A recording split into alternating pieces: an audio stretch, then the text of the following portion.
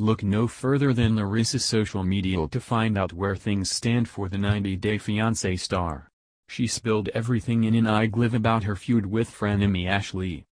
Larissa dos Santos Lima is spilling all about her feud with fellow 90 Day Fiancé star Ashley Martson. One secret that nobody knows, just you now. Ashley, she tried to be my friend in Atlanta.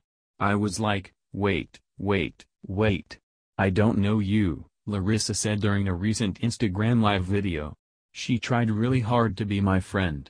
She talked bad about Jonathan, Rivera, and Fernanda, Flores, for me. Well, Larissa herself talked pretty harshly about Jonathan and Fernanda directly to their faces on the show's recent reunion special, even though Ashley was pretty cold to Larissa.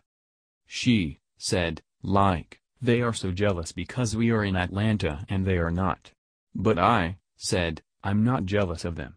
I'm so happy because they go to Hollywood, to LA to the premiere. Dot dot so I think that they might say bad things about her to them, Larissa continued. She then claimed any beef between her and Ashley wasn't on her part. I was really nice to her give her advice. I was really sweet to them, but I was just like, wait, wait, wait, she continued. This comes on the heels of a super dramatic January 6 part 1 of the 90 Day Fiancé reunion special. Larissa and husband Colt Johnson showed up three hours late for the taping and she claimed that her makeup bag the luggage containing the dress she was going to wear on the show got lost en route from Nevada to New York.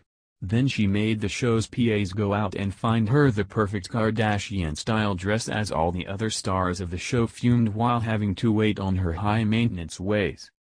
Once taping got underway, instead of Ashley Larissa got into it with Fernanda. As the Brazilian native said Fernanda is jealous of me because she's ugly and I'm beautiful. I feel ready to do war. In addition to ugly, she also called Fernanda jealous and thin, even though the latter doesn't seem like an insult. Jonathan jumped in to call Larissa pathetic, then Colt called Jonathan the same thing and it was all downhill from there. Oh man, part 2 of the reunion airs on January 15 and we can't wait.